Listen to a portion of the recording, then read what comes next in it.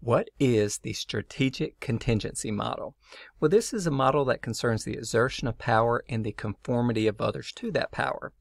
So, to start with, dependency itself simply refers to the extent to which an individual is dependent upon an external factor to maintain their preferred state of being.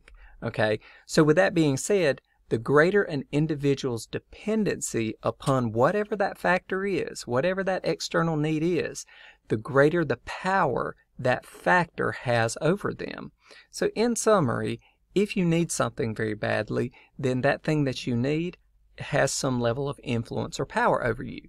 So, thus, dependency results in a form of power derived from the ability to handle uh, actual or potential organizational problems by virtue of distributing resources. So, with that being said, in organizational behavior and for managers, the extent of dependency is defined by one of any of three factors.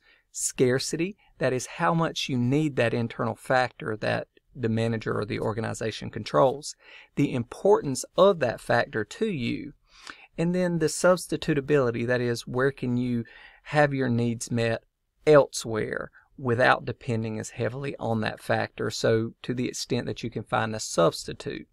So, in this way, the strategic contingency model relates an individual's influence over you, particularly an organization's influence over you, by their control over factors that you need, such as promotion, such as compensation, benefits, things of this nature. So this is the relation of the contingency or strategic contingency model to management practice and organizational behavior.